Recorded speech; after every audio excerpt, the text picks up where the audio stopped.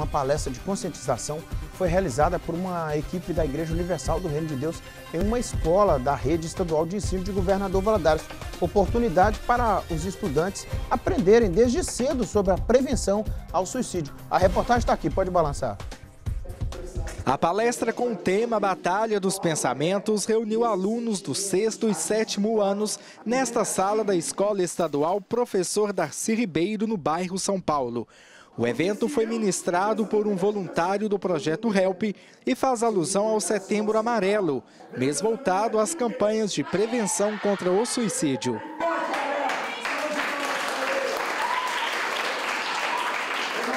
A gente vem até as escolas para tocar num assunto que precisa ser falado, que é a depressão, a ansiedade. E muitas das vezes o jovem ele vem para a escola aprender a matemática, o português, ele aprende tantas coisas, mas ele, ele acaba não se conhecendo, aprendendo sobre os seus sentimentos e toda a capacidade que ele tem de superar essas emoções, esses sentimentos.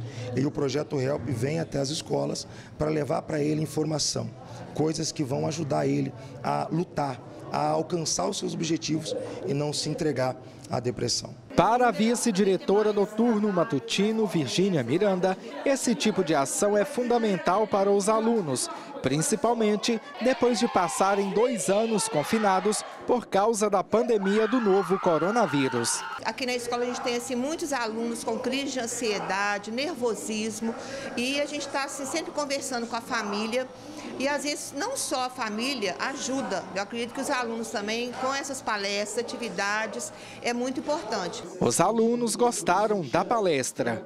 Eu acho muito bom, ainda mais para pessoas que sofrem de ansiedade, depressão, autoestima baixa, essas coisas. Eu acho que podem ajudar mais a correr atrás do sonho dela, não desistir da vida. De acordo com o psicólogo Charles Ismael da Silva, houve um crescimento nos casos de suicídio. Ele falou como a doença pode afetar várias pessoas. Não é somente o adolescente né, que está passando ali por aquela fase dos hormônios, né, mas a gente vê que hoje também é comum né, a pessoa em idade produtiva ou a pessoa na, na maior idade, né, os idosos também. Todo mundo hoje está sujeito a passar por isso e nós devemos respeitar. Os sinais que a pessoa deve prestar atenção é numa mudança, né? Porque cada um tem um, um ritmo, né? O profissional também fala sobre o trabalho realizado na escola e de que forma a psicologia pode ser aplicada no ambiente escolar. Tudo começa pelo pensamento, né? Esse trabalho que está sendo feito agora né, na escola é um trabalho muito importante, porque, por exemplo, no caso da, da psicologia, ah, nós temos a tríade cognitiva, dizendo o seguinte: tudo começa pelo pensamento.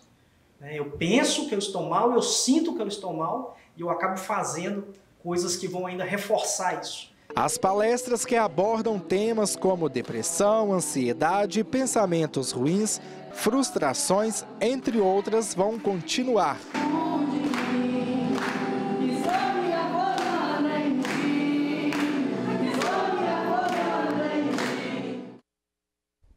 Legal demais, né?